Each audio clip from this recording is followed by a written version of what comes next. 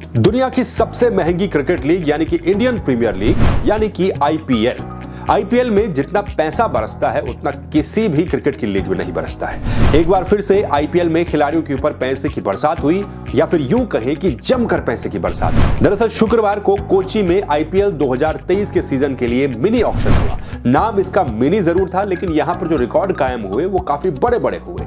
बड़े बड़े खिलाड़ी बड़ी बड़ी रकम में बिके हैं। आईपीएल के इस मिनी ऑक्शन में सबसे ज़्यादा पैसा विदेशी खिलाड़ियों पर बरसा खास तौर पर अगर वो ऑलराउंडर हो और इंग्लैंड से ताल्लुक रखता हो तो जमकर पैसा फ्रेंचाइजी ने उस पर लुटाया है। इस बार के मिनी ऑक्शन के लिए 405 खिलाड़ियों को शॉर्टलिस्ट किया गया था, जबकि 10 टीमों के पास कुल सत्तासी स्लॉट थे। लेकिन सत्तासी स्लॉटों पर नीलामी में सिर्फ़ 80 ही खिलाड़ी बिक पाए, इनमें से भी उनतीस विदेशी खिलाड़ी थे, जबकि कुल खर्चा सभी 10 फ्रेंचाइजीज ने एक सौ सड़सठ करोड़ रुपए का किया। तो चलिए अब आपको बताते हैं कि आखिर कौन सबसे महँगा बिका और किस दाम पर बिका। आईपीएल के इस मिनी ऑक्शन में सबसे महँगे खिलाड़ी बिके इंग्लैंड के युवा ऑलराउंडर सैम करन, जिनको पंजाब किंग्स ने खरीदा और रकम थी 18.50 करोड़ रुपए। दरअसल सैम करन ने एक और रिकॉर्ड भी बनाया है। सैम करन आईपीएल इतिहास के सबसे महँगे खिलाड़ी बन चुके हैं, जो कि सबसे महँगी रकम में बिके हैं। सैम करन इंग्लैंड के लिए खेलते हैं और इंग्लैंड ने हाल ही में टी वर्ल्ड कप जीता था, जिसमें सैम करन फाइनल मुकाबले में मैन ऑफ़ द मैच भी बने थे और प्लेयर ऑफ़ द टूर्नामेंट भी बने थे। यही वजह है कि सैम करन आईपीएल के इस ऑक्शन में इतने महँगे बिके।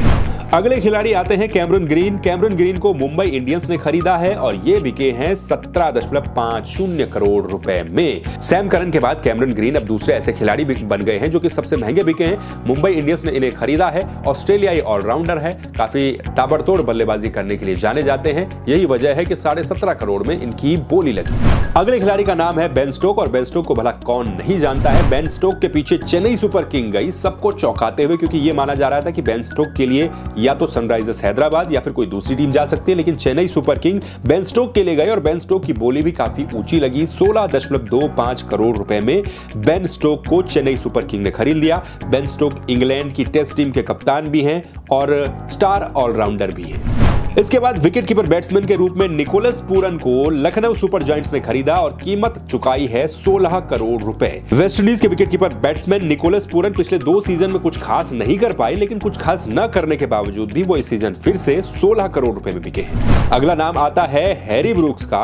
ये भी इंग्लैंड के ही धाकड़ बल्लेबाज है। हालिया इनका फॉर्म जो है काफ़ी शानदार है। पाकिस्तान के खिलाफ काफ़ी शतक के मार चुके हैं और तेरह दशमलव दो पाँच करोड़ रुपए में सनराइजर्स हैदराबाद ने इन्हें खरीदा है। अगला नाम आता है मयंक अग्रवाल का। मयंक अग्रवाल इकलौते ऐसे इंडियन है जो कि इस सीज़न सबसे महँगे बिके हैं और ये बिके हैं आठ करोड़ पच्चीस लाख रुपए में, यानी कि आठ दशमलव दो पाँच करोड़ रुपए में मयंक अग्रवाल को सनराइजर्स हैदराबाद ने खरीदा है। आपको बता दें कि मयंक अग्रवाल इससे पहले पिछले सीज़न में पंजाब की कप्तानी कर चुके हैं, लेकिन पंजाब ने उन्हें रिलीज़ कर दिया और अब सनराइजर्स हैदराबाद ने उन्हें आठ दशमलव दो पाँच करोड़ रुपए में खरीद लिया। बात करें अगर अनकैप्ड इंडियन प्लेयर की तो शिवम मावी एक युवा तेज गेंदबाज है जिन्हें गुजरात टाइटंस ने खरीदा और ये छह करोड़ रुपए में बिके। इसके अलावा मुकेश कुमार हैं, जिनको दिल्ली कैपिटल ने खरीदा, ये भी बिहार के रहने वाले हैं, और पाँच दशमलव पाँच शून्य करोड़ रुपए में इनको खरीदा गया, जबकि इनका बेस प्राइस पचास लाख रुपए ही था। अब बात उन खिलाड़ियों की भी, जिनको कोई खरीदार इस आईपीएल के ऑक्शन में नहीं मिला और जो नहीं बिक पाए। ऐसे खिलाड़ियों में है श्रीलंका के विकेटकीपर बैट्समैन कुशल बैंडिस, इनका बेस प्राइस पचास लाख रुपए था, लेकिन इनको किसी ने नहीं खरीदा। ऐसे ही टॉम बेंटन, इंग्लैंड के विकेटकीपर बैट्समैन है, इनका बेस प्राइस भी पचास लाख रुपए था, लेकिन इन्हें भी किसी ने नहीं खरीदा। अगला नाम आता है क्रिस जॉर्डन का क्रिस जॉर्डन इंग्लैंड के तेज गेंदबाज हैं। काफ़ी अच्छी गेंदबाजी करते हैं, लेकिन इनका बेस प्राइस दो करोड़ रुपए था। वजह यही थी कि काफ़ी महँगे फ्रेंचाइज को लगे और किसी ने इन्हें खरीदा नहीं। एडम मिलने न्यूजीलैंड के तेज गेंदबाज, बेस प्राइस दो करोड़ रुपए इनका भी था। इनको भी कोई खरीदार नहीं मिला। तबरेज शमसी, साउथ अफ्रीका के स्टार स्पिन बॉलर हैं। टी ट्वेंटी रैंकिंग में भी काफ़ी समय तक नंबर वन बॉलर रहे, लेकिन इनको भी आईपीएल में कोई खरीदार नहीं मिला। इनका बेस प्राइस एक करोड़ रुपए था।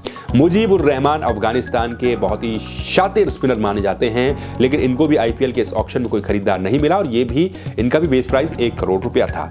बाकी ऐसे कई और खिलाड़ी भी रहे जो कि पहले दौर में नहीं बिके, जिनमें से एक नाम आता है रायली रोसो का, जो रूट का, लेकिन दूसरे राउंड की जब ऑप्शन आई तो उसमें उन खिलाड़ियों को भी खरीद लिया गया। ठीक ऐसे कुछ ऐसे खिलाड़ी थे जिन पर उम्मीद, जिन पर नज़रें काफ़ी ज़्यादा थी, उनमें से एक केन विलियमसन को काफ़ी अच्छे दाम पर उनके बेस प्राइस पर गुजरात टाइटल्स ने खरीद लिया, जबकि अजिंक्य रहाणे को चेन्नई सुपर किंग ने उनके बेस प्राइस 50 लाख रुपए में खरीद लिया, जो रूट भी इस ऑक्शन में बिक गए। तो ये था आईपीएल का मिनी ऑक्शन 2023 के सीज़न के लिए। इस ऑक्शन के बाद आपको क्या लगता है? कौन सी टीम आपको ऑक्शन में मज़बूत नज़र आती है? किस टीम ने सबसे स्मार्ट बाई की है? कमेंट करके आप ज़रूर बताइएगा। बाकी खबरों को देखने के लिए आप संवाद थ्री को सब्सक्राइब कर लीजिए। फिर मिलेंगे। नमस्कार।